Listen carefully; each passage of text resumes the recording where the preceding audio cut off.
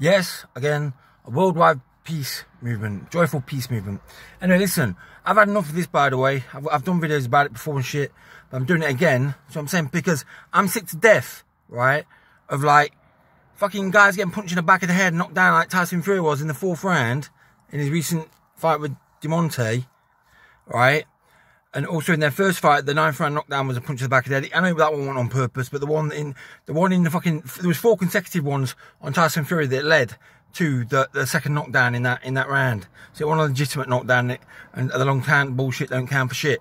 But anyway, like I'm saying, I'm sick to death of people getting hit around the back of the head and getting put down, and nobody and they say, I know every all ever people say, oh, it was behind the hair. Commentators are too scared to point it out as it is behind the fucking head.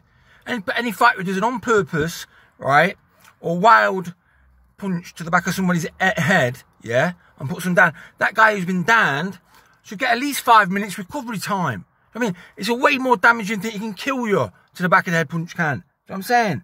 Go find out about Prichard Colon. I mean, what happened to him when he was on purposely punched to the back of the head by a scumbag loads of times and that. Listen, it needs to be sorted out. Okay? It needs to be fucking sorted out. There needs to be a fucking rule brought into professional boxing, right? Okay? And the UFC, right? Any blow punch somebody, a hard punch to somebody's back of the head, they should get time to recover at least five minutes, just like you get when you get hit in the bollocks. Do you know what I'm saying?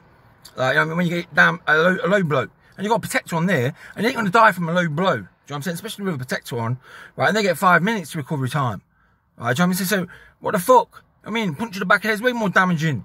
Somebody goes down off a hard punch to the back of the head or gets a hard punch to the back of the head, you can see they scatter them, they should get at least five minutes recovery time. Okay? This rule should be brought into professional boxing and amateur boxing. I'm not sure if they wear red guards anymore. It's so much, so long since I watched amateur boxing. But like, this there should be a five minute recovery time at least for a blow to the back of the head. And, and anybody who does a consecutive blows to the back of somebody's head on purpose, aimed at, okay? Okay, when they do that, okay, hoping to get away with it and shit, they should be disqualified. Warned after the first one, disqualified after the second one. And if the guy went down off it, he suffered any damage on it, and bit, you can see the balloon's gone, like it happened to me in a fight. Like when it, and I put that, I put that on this video on the below. I'll, I'll link you to it. One of my fights that's on here. Okay. Anybody who gets hit to the back of the head like that, okay, should get five minutes recovery time. Do you know what I'm saying? If they go down off it, or if it's a hard punch and you can see it's shook them, and the guy should get warned straight away about it and told him he only gets two warnings. First warning, second warning, if he does it again, that's it, done with. Okay? Any on purpose shit like that, guy gets disqualified. Or the guy gets fucking at least five minutes recovery time. Do you know what I'm saying? Like I say, if, if they did it more than once on purpose, disqualified those fucks. That's cheating, man. That's not real. That's not professional boxing. Do you know what I'm saying? Boxing's a sport, man. Do you know what I'm saying? If people start getting dropping dead all the time off blow to the back of the head, which happens, by the way, okay? Right? And then they're getting, and, and, and, man, I tell you, I'm saying, people stop fucking doing it.